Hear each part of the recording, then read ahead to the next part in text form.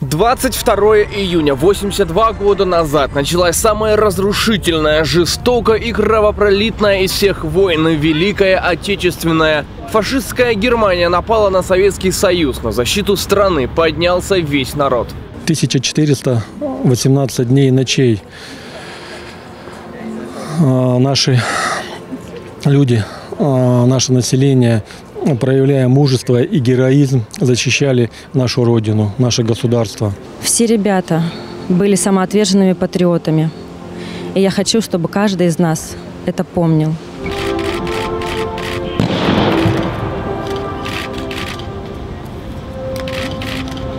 Цветы к мемориалу возложили сегодня губернатор края Виктор Томенко, глава Барнаула Вячеслав Франк и другие. Подобные нашей церемонии 22 июня проходят по всей стране, вспоминая трагические события, случившиеся 82 года назад, и чтят память не вернувшихся с войны героев. Дмитрий Дроздов, День с толком.